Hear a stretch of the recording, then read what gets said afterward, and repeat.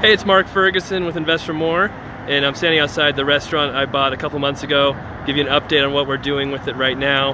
Um, haven't done a whole lot of work just because it's a brand new thing to us. Never done a restaurant before, but we are slowly making progress. I can kind of show you they are starting to build the apartments across the street that I talked about before. Massive project there, and then on the other corner down that way they're starting to build the massive apartments down there. So this is an extremely busy road, great location for retail. It's just a matter of what we do in this building since uh, it's tiny and yeah, we have a lot of work to do. But um, it is funny because every time we come in here, there's probably two or three people that stop by, still trying to get burritos from the last place that was in here. So um, you can see we tore out all the floors, kind of got rid of the old tables and stuff, and we do have the new heating system in, and we tore out the drop ceiling. So you can see where the white brick is. That's the bottom of that where is where the ceiling was before, and it just felt so much better just to remove that. And there's another ceiling above there. This side, you can see it's even a little higher, and this was an addition at some time. And I think we can actually take this wall out too and make it a little bigger if we wanted to. But we'd still love to have a restaurant in here. There's a hot dog place that wants it.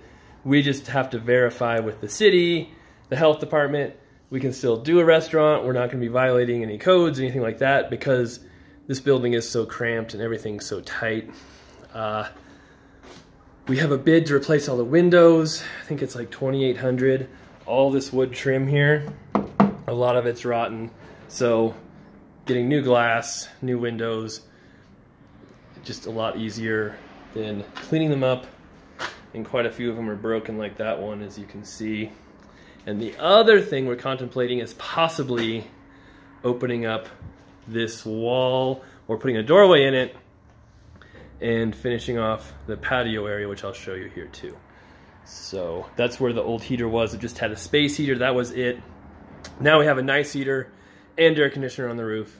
So that's taken care of. Step one of a hundred on this property. Uh, back here, that's kind of where that wall is. I said we could take out so we could have a little bit more space there if we needed to. And this property I bought with the kitchen equipment in it. I have a video I did that explains much more detail, the numbers and everything. But we bought it for 115,000 from the MLS.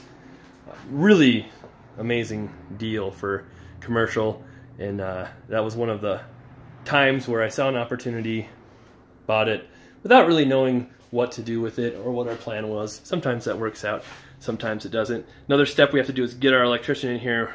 Our electricians have just been incredibly backed up or non-responsive. So we need to get our electrician in and make sure we don't have to do like an entire rewire, which we might based on how that panel looks. Um, tiny bathroom, something else we have to talk about with the health department. You know, how big the bathroom has to be, your access to it, because right now, your access for the restaurant is through this weird patio area.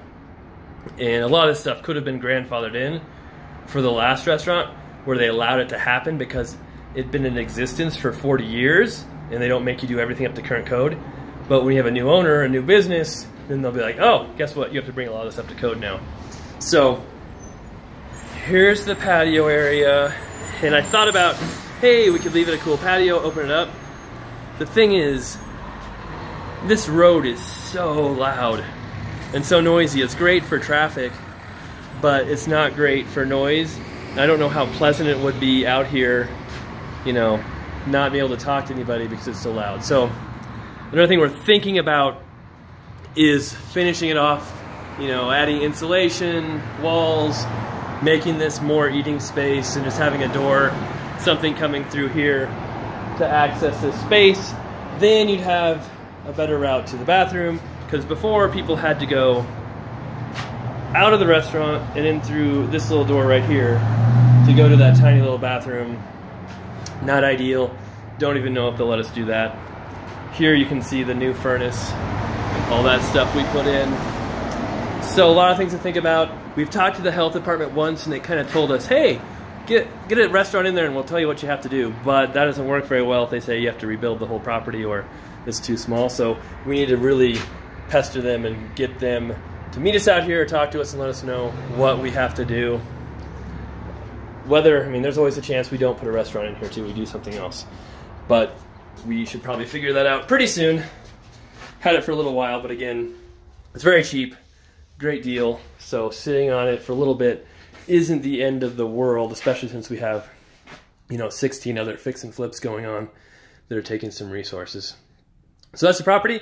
That's the update. As you can see, things are moving along with the construction properties across the street, which was awesome for us and the value of this property. We've got it demoed a little bit, making some progress. Now we just really have to figure out what the end use will be and what the next steps are. All right, thanks for watching. Hope you guys enjoyed this video. If you have any brilliant ideas on what to do here, let us know. We'd love to hear them. Uh, if you like the video, we always appreciate the thumbs up. And we'll have some more coming up for you soon. Thanks for watching.